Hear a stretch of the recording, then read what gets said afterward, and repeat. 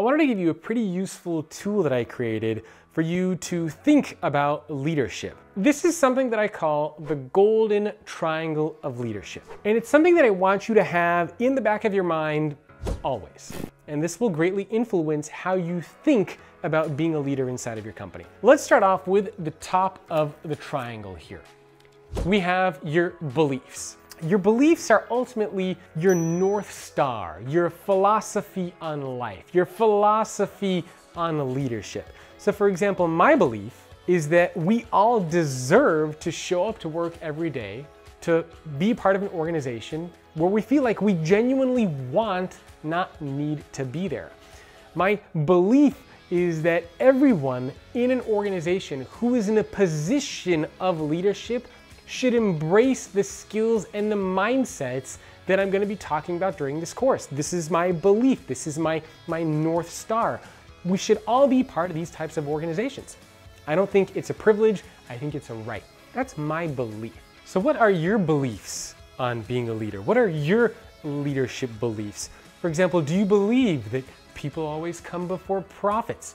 What is your North Star of leadership? And this is important because your beliefs are then going to shape the next section of this, which are your thoughts. Your thoughts are going to be specifically around how you think. So the way that this works is we start off with our beliefs. Our beliefs are then going to shape our thoughts. If you believe, for example, that people come before profits, then you're to think, your thoughts are to be constantly around how do I upskill my employees? How do I retrain them? How do I invest in our community? How do I create better experiences for our people? If you believe that the primary purpose of a business is to make money, then your thoughts are constantly to be around well, how do we use technology to replace workers? How do I use technology to make us more productive and efficient? How do I make sure that we hit the, the numbers next quarter and next year? That's all that you're going to be thinking about and you will do whatever it takes to meet those numbers, even if it's at the sacrifice of your people. So again, beliefs, your North Star, your philosophy on life, your philosophy on leadership, that's gonna dictate your thoughts, how you think about certain things, and your thoughts are then going to lead to the actions that you take. So your beliefs, your North Star, they will shape your thoughts, your thoughts shape your actions. What are you actually doing? Are you investing in the community? Are you investing in the employee experience? Are you putting aside money for training and upskilling your people?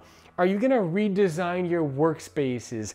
Are you going to create diversity and inclusion programs? What are the things that you're actually going to do? So you can see how this kind of comes full circle. Your North Star, how you think about life and leadership, will dictate the thoughts that you have.